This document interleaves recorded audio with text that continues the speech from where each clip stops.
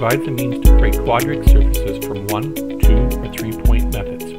Use a paraboloid to create a reflector, radar, automobile headlight, solar furnaces, antennas, and aerodynamic tips. The paraboloid primitive is located in the solid tool primitives palette, last tool item on the right. The one point paraboloid has a base center and three radius values.